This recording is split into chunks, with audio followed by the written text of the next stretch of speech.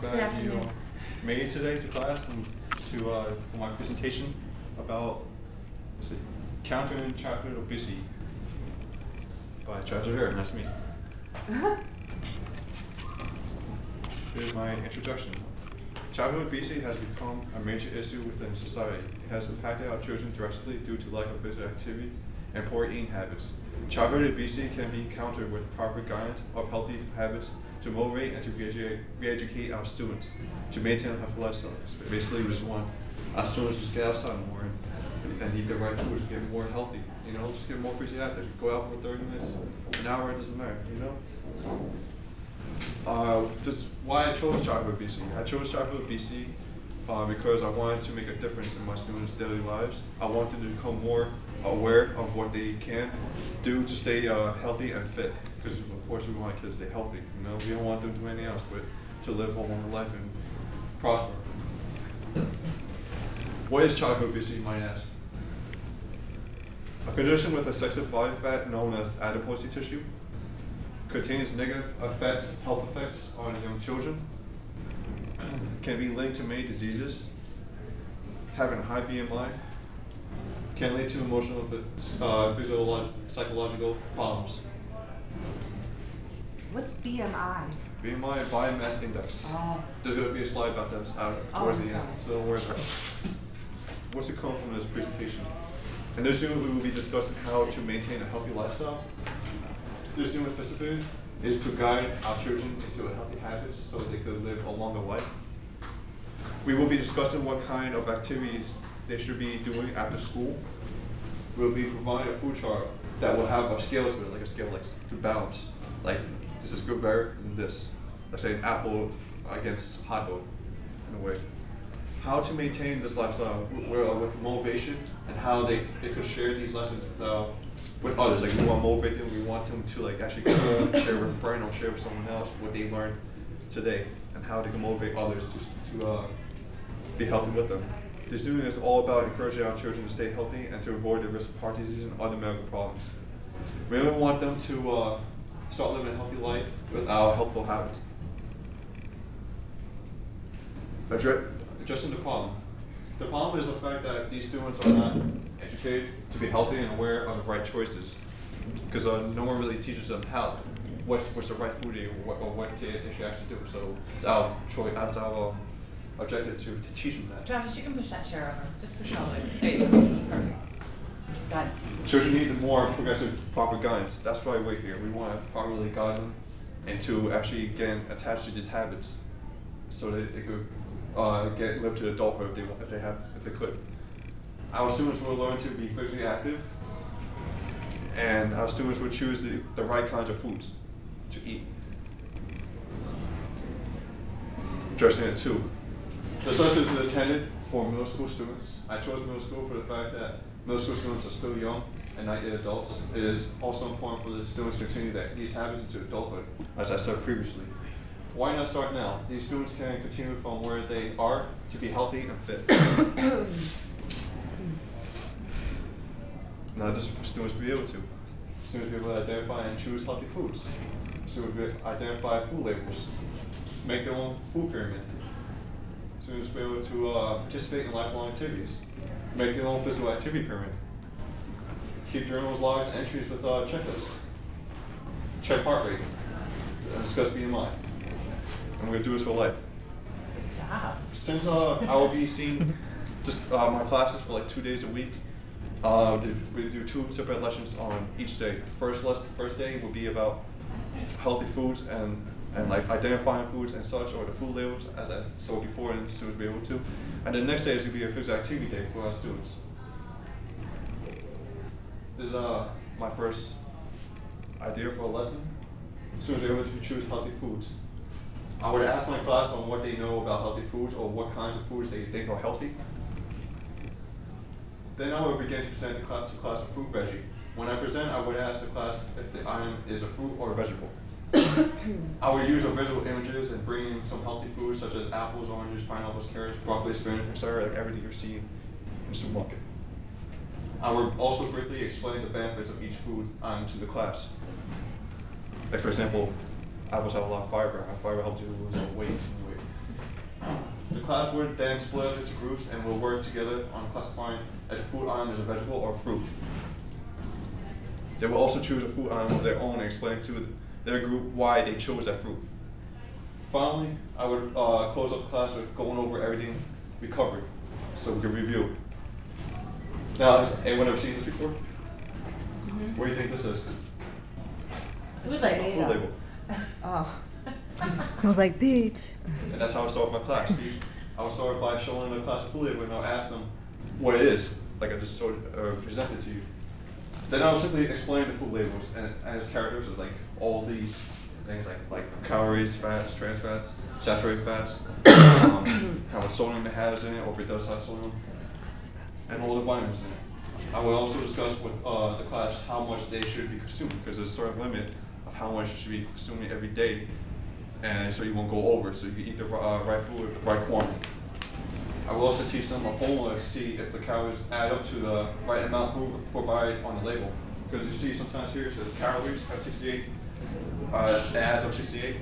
Sometimes, uh, well, it doesn't really happen like that. It doesn't really add up to that. So uh, here's an example of Doritos. Now you go look at the food label, right? This one has 150 calories. So there's a formula to figure out how you could see that, if you're actually getting the right amount of calories. See, uh, carbohydrates times by four, protein times by four, and then total fat times by nine. Then you add it up what you get. So for example, this one, it's 18. Let's see, uh, carbs are 18. Total carbs is 18 grams, right? So you times by four, Yes, I mean two. Protein, two grams, times by four, you get eight. Then uh, total fat is 8, then you times that by 9. Then you add them up, as you see right here, 72 plus 8 plus 72 equals 152. Now, this is what I mean. You see how calories at there 150? This, this one came at 152. So it's a little off, but this is why it's good to check to make sure. It's a little over, but it's still important to check, like I said. I would ask my students to come up with their groups, and each student in a group would choose one random food label to try it themselves. Like I'll bring a whole bag. I go to my house, I cut out different kind of food labels, and uh, each each person in the group will come up, choose their own, and do this as themselves, and then they will add up all the calories they have in that one group. Uh, for the next class, they could also bring in their own. Now this is uh, my food chart. Students will make their own food chart. I would start by asking what uh, the class what they see on the food chart. For example, you got your your breads, your oils, your fats, your meats, your cheese, your dairy, your nuts, your fish and poultry, and then healthy fats and oils, whole grains and vegetables, and all bottom is a little quiz education. And um, this food chart basically shows you what you need to do, what what, what you're consuming. I will then discuss the purpose of the chart to my class, like why why should we be consuming each one of these uh, types of food in this in this uh, pyramid. Finally, we'll discuss the section of the pyramid to the class. As an activity, I will have them- the class create their own food pyramid of foods they eat. So they could each take a section. So you can assume we'll get a section like I said before. They have their own little section. They're right. They're put down what foods they eat or draw out if they want to, and they're put together the food pyramid. Then they'll present in front of the class and describe the chart themselves. Now, lifelong activities. Students are able to, uh, to participate in lifelong activities. As you see in the picture over here, like this little girl's happy running with her. This lesson will have the students participate, participate in physical activities. Activities will consist of endurance, flexibility, and balance exercise. The activities will be in groups and students will co- collaborate with one another. I will be demonstrating the activity or skill to the class. This is important if we demonstrate, because then if not, they're not gonna know how to perform the skill or what to do in skill. Um, then I will have them try it themselves as a group. I will be assessing on how they participate in class. Now, the first activity I probably do is jogging. First activity is jogging. Jogging helps build endurance and discipline. I will first give a demonstration on how to jog by jogging back and forth, because there's certain there's a certain uh, certain form to, for jogging, and I used to be a track runner, so it's it'll be easier for me to teach in class. I'll be I'll instruct the students to breathe in and out the mouth because it's important, very important to breathe in through, throughout, throughout in and out your mouth because if you don't, it's going to clog up your nose in a way. And it's not going to feel great when you're running. So it's very like directly into your lungs uh, through your nose. I will also instruct the students to clear your mind while running. It's important to clear your mind 'cause if you, if you constantly keep thinking of stuff while you run, it's gonna mess you up. You're not gonna want to do anymore because you got other stressful things that are attacking you while you're running. So you should use that against it. Then we jog and put in groups because it's important to run in groups. It's more fun. You guys can actually collaborate and talk to each other while you're running. You know, and it must motivate each other to continue running. Students will jog a mile, which is four laps. I will explain how many meters is, is a is a lap, which is 400 meters, which is one lap. So four laps is uh 1600 meters. So in the groups that we run four laps with each other outside at their own pace. All for is effort, and students must reflect in their own journals. Second one is to be an obstacle course, which is pretty fun for kids. I had a original obstacle course picture that I did that I drew once, but I, I don't know where I put it, so I took this one. It's almost closely arrayed. As you see with the how they set it up, they start here, and go here and here, and there's different kind of obstacles you go through in each in each uh, section, you know. And I had like an idea called survival, where they uh, run through the course and other kids with soft soft um, foamy balls, and they had to like toss it or, or roll it to get the other person out of a point. Uh, there'll be five teams, uh, of one team at a time will run through the obstacle course, while other teams are on the other side. The teams on the side lines will follow the team running through the course and will either roll the ball or toss the ball with the, as if it was a softball or bowling ball, just gotta pull it there. the type of ball will be foam ball. If any members of the team are hit with the, in the course, not while jumping over hurdle, that's just an example, not jump, go over this. If they go in here, it's fine, here, you know? Um, they can't throw the ball when you're going through that. It gets one half point off. If it hit twice, then they cannot score for the team and must continue in the court. Teams will score by whoever out of the five will make it to the end. Five, uh, if all five make it to the end, they get an extra five points, and also the fastest team gets another five points. So, slow competition. Wait, can you go back one second? So while, while one team is going through the obstacle course, others, people are throwing foam balls at them? Like, like a, uh, tossing like a softball Yeah. or like a bowling ball. How many Well, foam balls? Um, probably five for each team. Oh, wow, so. I had I had a That's picture. tough. No, I mean, I, I think it's kind of fun, but I think it would be really hard, so. I had a I had a picture of it for my for my did project Okay. for and couldn't Yeah. find it, so I had to find something else. Go. Now my last activity would probably be basketball. Basketball of uh, stamina, balance, and speed. I will explain the characteristics of basketball, how to play basketball, how to dribble, how to pass, how to shoot, how to do a layup, finally how points are scored in basketball. I will demonstrate each of the skills of basketball to the class. There will be stations set up for the students. These stations will have one skill for each station. The students have a choice to go to a station to practice during skill. Students will be assessed during skill practice. Once again, students must reflect in a journal. Now, the reason why I chose basketball because basketball you get a lot, of, you sweat a lot and you you lose a certain amount of weight. That's how I feel when I play uh, basketball. It keeps you very fit. It brings up uh, your heart rate. And I also chose basketball because since the NBA finals are on too, probably kids in my class some watch basketball and they're very interested. They want to play because they want to be like our heroes of. And also for girls too, I'll find a way for them to uh, enjoy it too. Probably ask them to watch a game or such, or have who they like, in a way.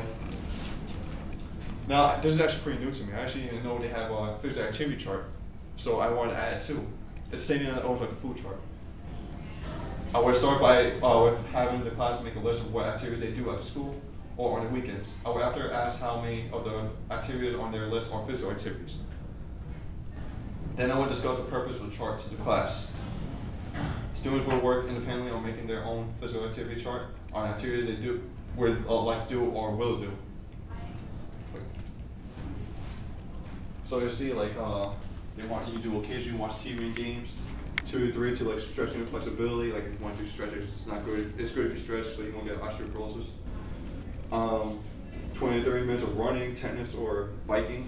You know, just just come up with your own ways of uh, working out. And every day, like everyday activity, like what are you gonna do? Like your job, your you, you taking the, going out for groceries, or you taking the garbage, or anything like that. Something that's gonna keep you busy. Like this guy's mowing the lawn. This one's going taking the stairs instead of elevator or escalator. This one's planting, and this one's walking the dog. So it's uh, uh, activities you do on your own.